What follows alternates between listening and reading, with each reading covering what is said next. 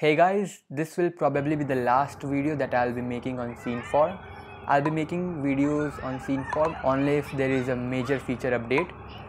The goal of this game is to shoot all the balloons in the scene as soon as possible. Initially there will be 20 balloons placed randomly in the scene. So let's dive into the code. First let's set up the project, go to build.gradle file and add Sceneform UX dependency, add Java 8 support and hit sync now. Go to the manifests file, add permission camera, declare feature camera, add metadata.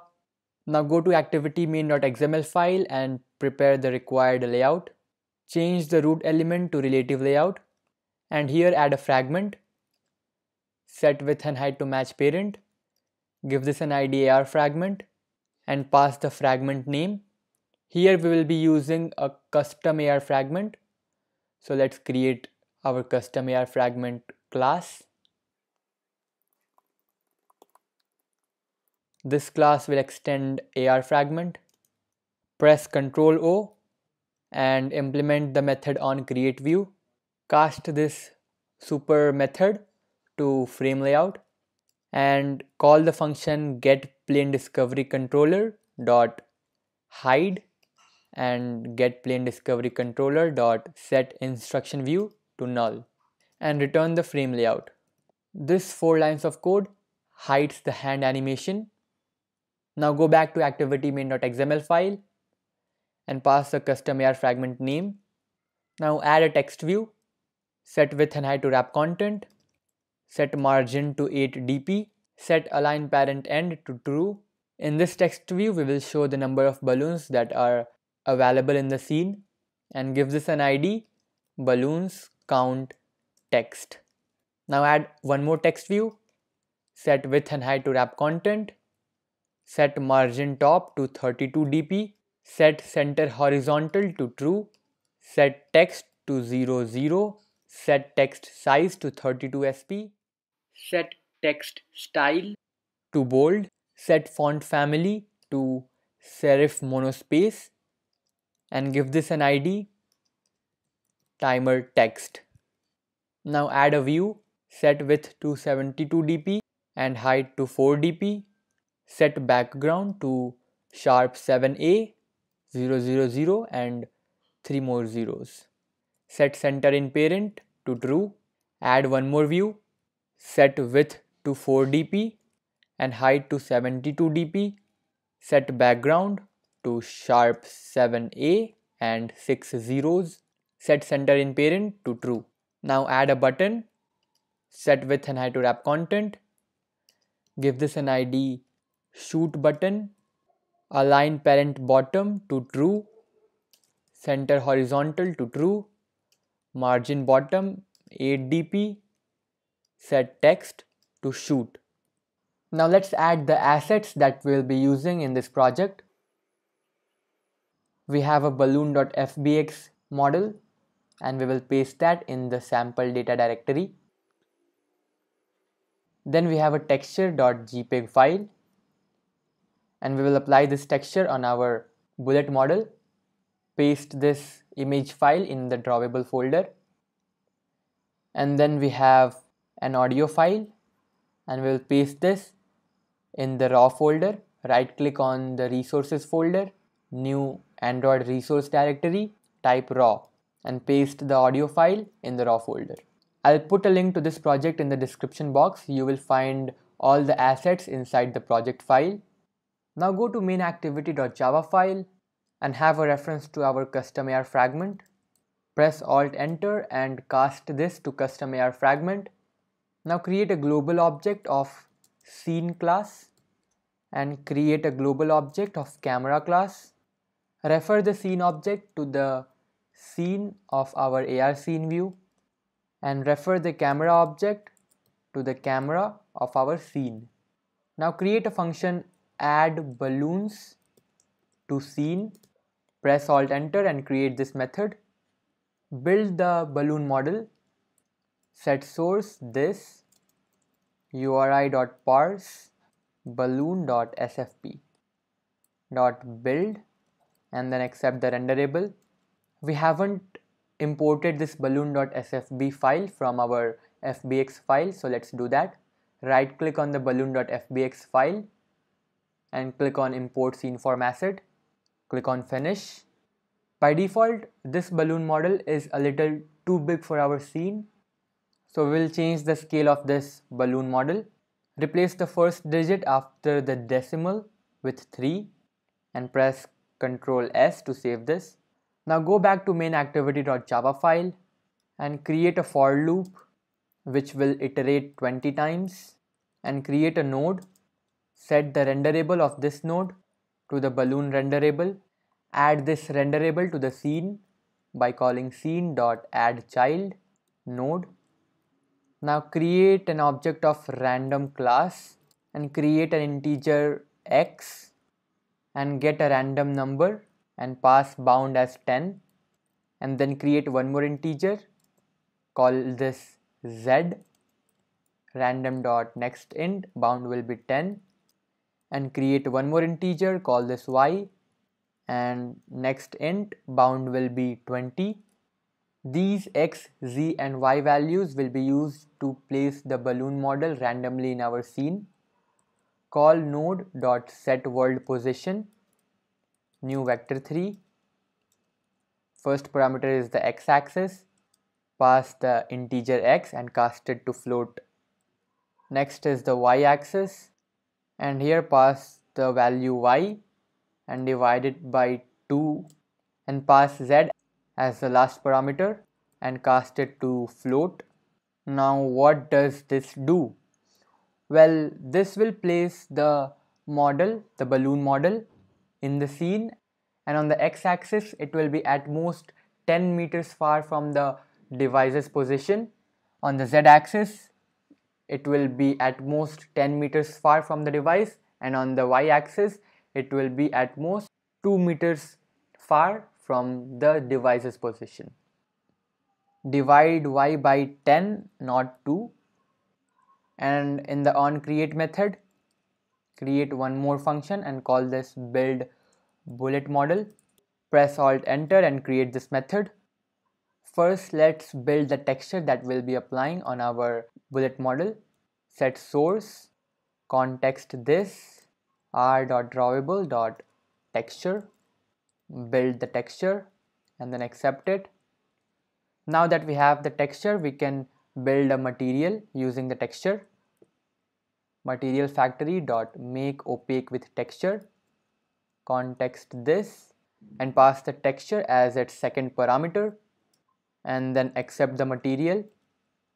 And using the material let's build our model. Shape factory dot make sphere radius will be 0.01 f and center will be new vector 3 0 f on all the axes and pass the material as the last parameter.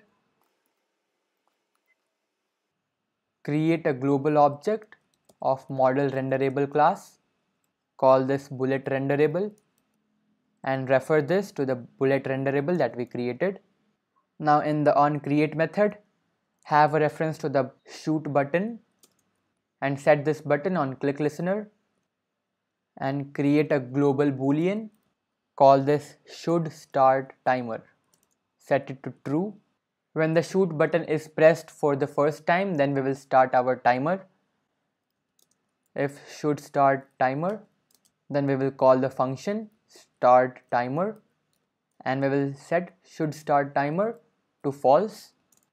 Press alt enter and create this start timer method have a reference to the timer text view. Now start a new thread and create an integer. Call this seconds and initialize it with 0 now create a global integer and call this balloons left. And initially it will be set to 20 and create a while loop inside the thread. And this while loop will execute until the balloons left is greater than 0 we will send this thread to sleep for one second. Press alt enter and surround it with try catch because it throws interrupted exception. Increment the value of seconds integer. Now create one more integer and call this minutes passed and then divide seconds by 60 and then create one more integer and call this seconds passed and then get the remainder when seconds is divided by 60. These two lines of code will help us get the minutes and seconds passed since the timer has started.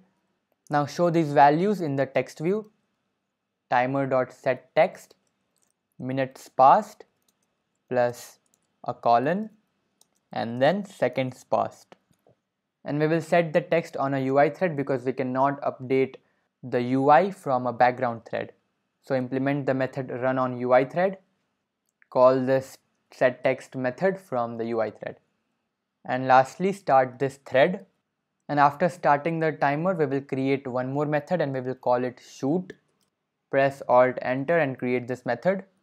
Now create a ray object and call the function camera dot screen point to ray. Now what does the screen point to ray function do?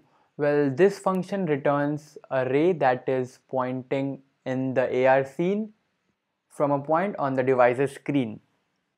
So we will get the ray that is pointing in the AR scene from the center of the device's screen. So how do we determine the center of the device's screen? Well, before calling the set content view method in the onCreate, create an object of display and call get window manager dot get default display. This will return the default display of course and create a global object of point class and instantiate this object and call the get real size function of display class and pass the out size as our point. Now using the point object we can get the size of the device's screen on the x and the y axis so in the screen point to ray function, the first parameter it takes is the size of the screen on the x-axis. So we will pass point dot x by 2.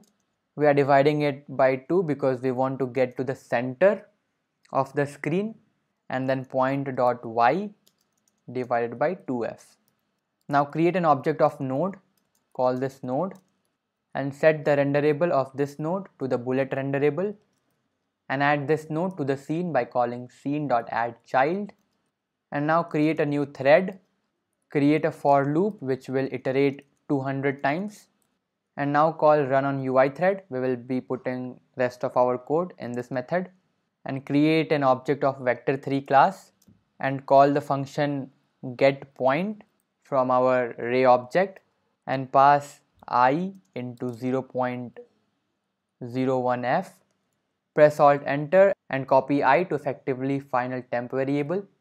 Multiply i with 0.1 and not 0.01 and set the world position of our node to this vector3 object. Now what does these two lines do?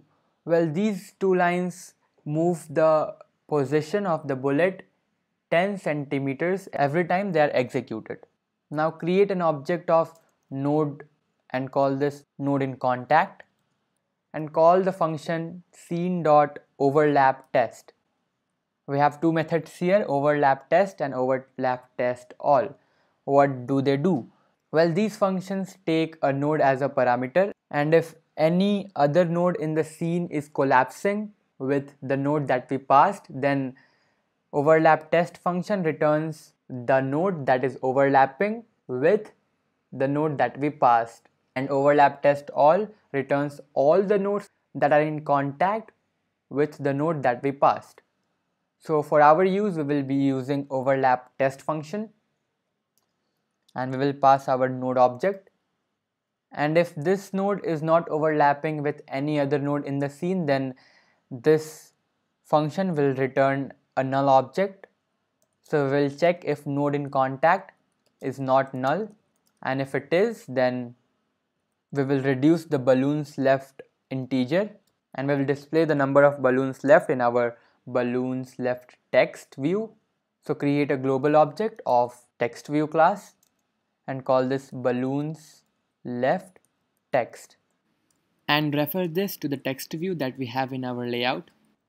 and call the set text function of our balloons left text object and set text to balloons left colon and then pass the integer. And after this we can remove the balloon which was in contact with the bullet node by calling scene.removeChild and we can pass the node in contact to remove it from the scene. And we will also play a blopping sound. So for that we'll be using the sound pool class. Create a global object of sound pool class. And in the on create method create a method load sound pool press alt enter and create this method. If you don't know how to use soundpool then I have a video on that. I'll put a link to it in the description box. You may check it out. Create audio attributes. New audio attributes. Builder. Set content type to audio attributes dot content type sonification. Set usage to audio attributes dot usage game. And then build this builder and create a sound pool builder. Set max streams to 1 we will be playing only one sound. Set audio attributes to the audio attributes that we created. And then build this sound pool. And now create one more global integer and call this sound. And let's load our blopping sound using the sound pool dot load function the first parameter it takes is the context which is this and then the resource id for our audio file which is r.raw.blob sound and then the priority which is 1 and now to play the sound we will call sound pool dot play and we will pass the sound id as the first parameter. Second parameter is the left volume 1f right volume 1f priority 1 loop no float rate 1 and after this outside of the run on UI thread we will send this thread to sleep for 10 milliseconds. And we will surround it with try catch. And when the loop finishes executing we will remove the bullet node from our scene. And we will do that on the UI thread because we cannot update the UI from a background thread. Call scene.removeChild and pass the node and lastly we can start this thread. And before running this app in add balloons to scene method set z equals minus z. If we don't do this then our balloons will be placed behind the camera which we don't want. And now you can run and test this app. Let's test it. Shoot the balloons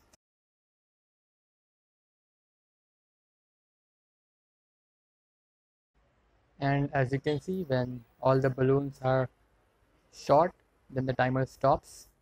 Okay so if this video was helpful to you then give this video a like and subscribe to the channel